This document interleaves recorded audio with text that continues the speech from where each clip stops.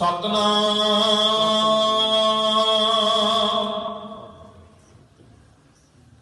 ਵਾਹਿਗੁਰੂ ਸਾਹਿਬ ਜੀ।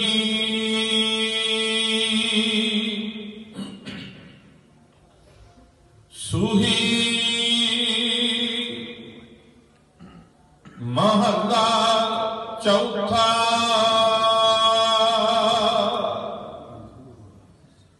ਤਿਨੀ ਅੰਤਰ ਹਰ ਆਰਾਧਿਆ,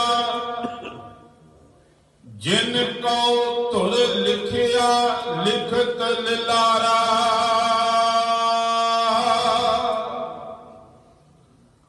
ਤਿਨ ਕੀ ਬਖੀਲੀ ਕੋਈ ਕਿਆ ਕਰੇ, ਜਿਨ ਕਾ ਅੰਗ ਕਰੇ, ਮੇਰਾ ਹਰ ਕਰਤਾ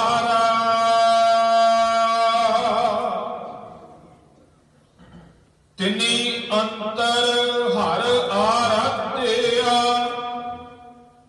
ਜਿਨ ਕੋ ਧੁਰ ਲਿਖਿਆ ਲਿਖਤ ਲਿਲਾਰਾ।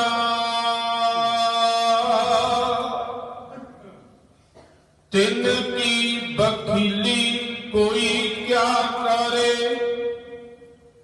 ਜਿਨ ਕਾ ਅੰਗ ਕਰੇ ਮੇਰਾ